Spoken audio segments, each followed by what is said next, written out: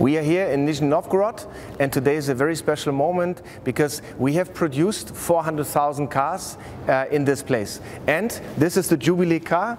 It's the 400,000th car. It's the Skoda Kodiaq and this is a fantastic car for uh, our market. We've sold the car 20,600 times uh, last year and uh, overall 76,000 cars, 10,000 to export to Europe. So which also clearly shows um, we produce here with great quality and uh, our customers customers love the car.